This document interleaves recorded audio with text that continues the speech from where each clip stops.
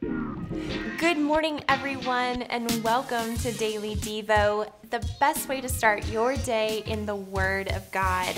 My name is Whitney Meade, and welcome to the show.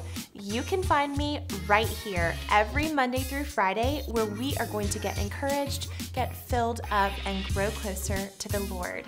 Be sure to like, comment, subscribe to the channel, and hit that bell button to get notified every time a new episode of Daily Devo goes live. Well, welcome to November. We have a new theme this month, which is naturally thankfulness.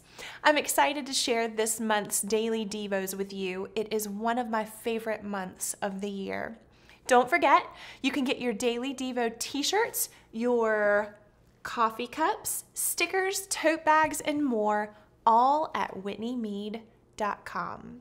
Now, let's get down to business. I've struggled with depression and anxiety off and on throughout my entire adult life.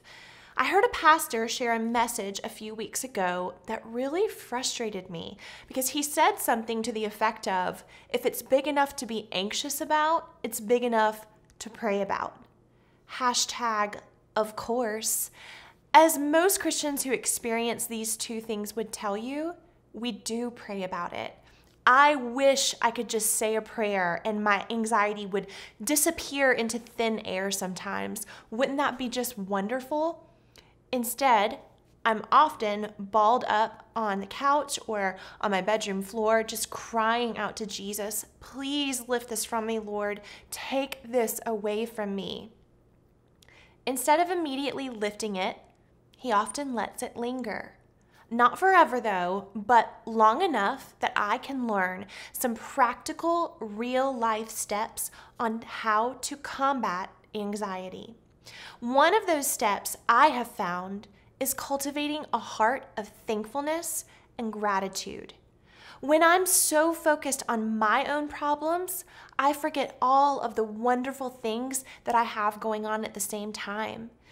You know, this is one of the biggest lessons I've learned over the past few years that two opposing things like joy and sadness, or abundance and lack, or grief and joy and happiness can it coexist at the same time we can experience those things at the same time.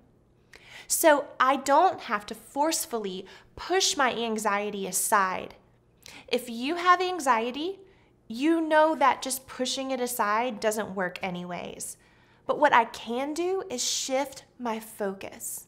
I let that anxiety exist, but then I choose to shift my focus to the things I'm grateful for the things I'm grateful for, the things I'm grateful for instead. I may be anxious about my children, but I'm also thankful for the gift of their sweet little hearts in my life.